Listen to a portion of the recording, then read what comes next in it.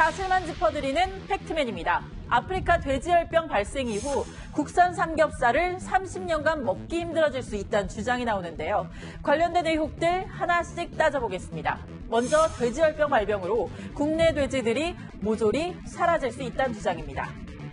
전멸은 아직까지 세계적으로 그런 예도 없었고 우리나라 방역 시스템 아마 거의 세계 10위권 안에 들어가는 정도라고 저는 자, 북한이나 아프리카와는 달리 국내 방역 체계는 선진화됐고 외부와 차단된 실내에서 돼지를 사육하는 농가가 많습니다.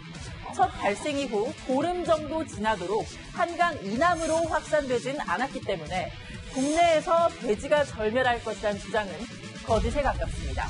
또 다른 주장 한번 살펴볼까요?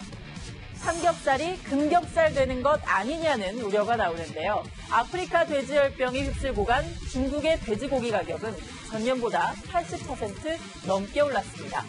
우리나라도 이번 달 들어서 돼지고기 도매 가격이 오르긴 했죠. 전문가들은 어떻게 보고 있을까요?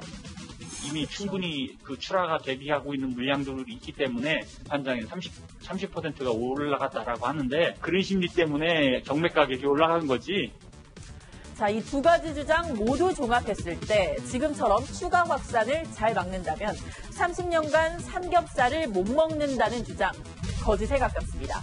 이상 팩트맨이었습니다.